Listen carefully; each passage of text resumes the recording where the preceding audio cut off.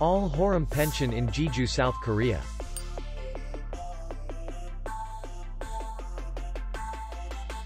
Distance to city center is 20 kilometers. We welcome guests from all over the world. The hotel has comfortable rooms. Our clients are very satisfied. We accept payment only in cash. We will be glad to see you.